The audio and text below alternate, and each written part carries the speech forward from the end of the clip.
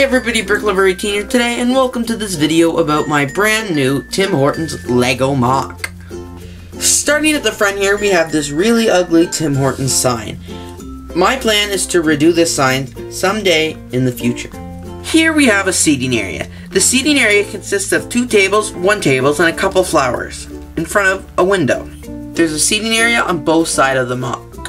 And just between each seating area, there's enough room for the pedestrians to walk through the Tim Hortons door, the front door. Here on the right side of the seating, we just have a police officer enjoying a nice coffee. No pun intended. Here on the sidewalk of the MOC, we have a mixture of reddish brown tiles and dark tan tiles. I did this when building just to break up the standard dark tan a little because that's what all my city sidewalks are. Plus, I think it adds nice character to the MOC and the sidewalk here. Something else I did to add texture to this MOC and break up the blockiness of this feature, I added these profile bricks with the little curved colors.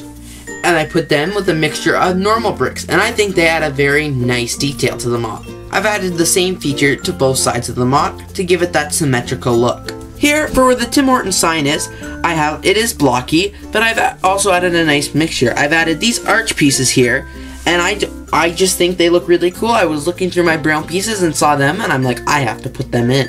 Underneath each arch, I've added a red coffee cup on top of some tan plates. I also designed the arches to stick out over the MOC more, the stick out over the skyscraper building, just to add some more texture and actual building-like feel. Overall, I think the front of this MOC really contributes to the city and makes it look just that much better. Here, you can see the windows and the door frame are all black, with the windows and the door being trans black.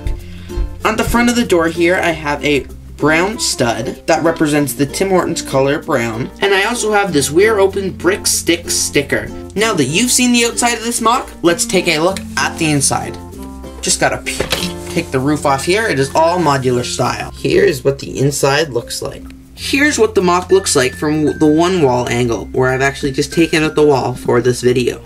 I've managed to incorporate many cool features into this MOC that you will actually see in a Tim Hortons location. Here on this side, we just have two people enjoying some nice Tim Hortons coffee. We have the same table on the other side.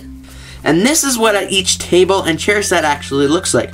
It is two brown chairs with on a plate, a 2x4 plate with one black brick and one 2x2 tan tile over top just to make it look like a Tim Hortons seating place. Here towards the back of the restaurant, we have the kitchen and serving area. On the wall here, we have a TV, so it can show the customers what's the menu. It shows the latest donuts. Behind the counter, I've incorporated some cool features. I have incorporated a fridge, a couple stoves, a donut picking station, a coffee pot, and some more. Here we have one fridge and stove. The fridge is absolutely nothing fancy, it's just a bunch of 2x2 bricks stacked on top of each other. The stove isn't too fancy either.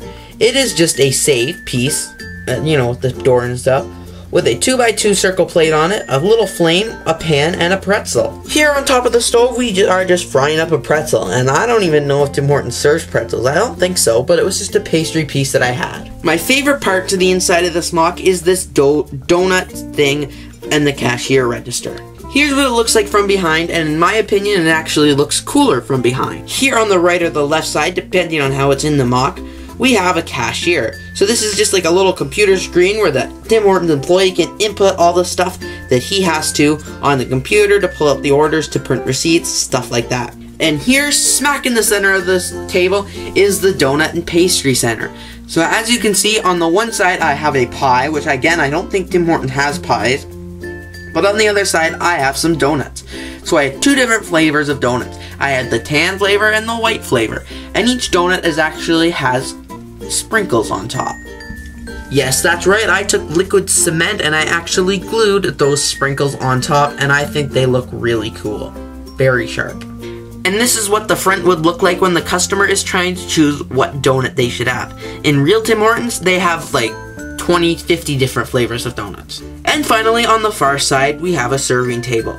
In almost every Tim Hortons, they have a table at the end just where they can set your coffee, set your donuts, set your muffins, just so you can grab them and they can move on to somebody else's order. Here's the coffee and dessert section. Not really sure what the dessert is, it just looks cool. And the coffee maker is this really big coffee pot with a couple wine glasses for like the more fancier drinks, and then just the regular coffee pots for normal coffee drinks, and then we add the coffee cups on top, ready to be poured with coffee for the average Canadian. Here's the second set of ovens. Unlike the last one, this oven has two different ovens side by side. On the one, we're just frying up a croissant, and on the other, it's an empty burner. On each side of the smock, we have these two tan pillars. The only problem with this MOC is there's really not a lot of space for the Tim Hortons employee to work behind the counter. In my opinion, the kitchen looks better than the rest of the Tim Hortons restaurant, and someday I might do something a little different to change this up a little. The, the space issue I was working with here is because I wanted to leave an open pathway for customers to come in and buy their coffee. I really hope you enjoyed watching this video, my video, on my Tim Hortons MOC. Thanks everybody for watching this video by me, BrickLover18. If you enjoyed this video, go check out my YouTube channel, BrickLover18, for more LEGO related videos. Thanks everybody for watching, I hope you enjoyed this video, and to let me know if you did enjoy this video, please leave a like. Also, don't forget to leave a comment and subscribe to my YouTube channel. Thanks everybody for watching, have a great day.